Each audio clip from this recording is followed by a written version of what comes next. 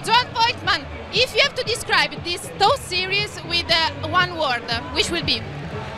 Pain. Uh, it was unbelievably hard, and uh, Virtus had a, had a great series. They fought back all the time, and uh, yeah, the home game saved us, the fans saved us, and uh, at the end it was amazing. What do you bring in your heart about the season in Milan? It was a tough season, very tough season. Uh, a lot of obstacles we had to overcome, and to finish it now like this, it's amazing.